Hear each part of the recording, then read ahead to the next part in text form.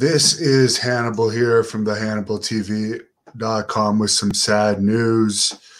TMZ is reporting that former WCW star Daffney Unger was found dead at 43 after she released a suicide video last night.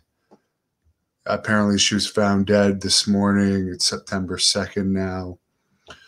And apparently, she posted a video last night um, that was suicidal, and people were trying to find her to make sure she didn't do anything. And I guess by the time they found her, it was too late.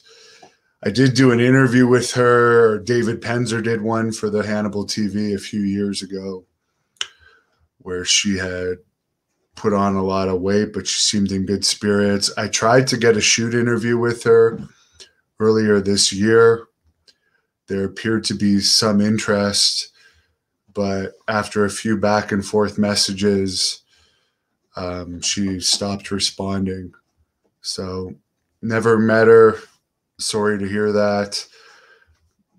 And if anyone that wants to see the interview with David Penzer and her from the Hannibal TV, check it out in the description. Sorry for her family.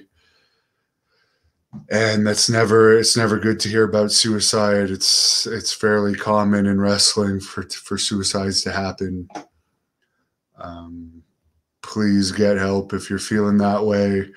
I was cert- I was certainly suicidal through various points of my life and I actually did get psychological treatment for it some of those thoughts came directly from medications I was on related to the period of time that I that I had Hep C, which I overcame.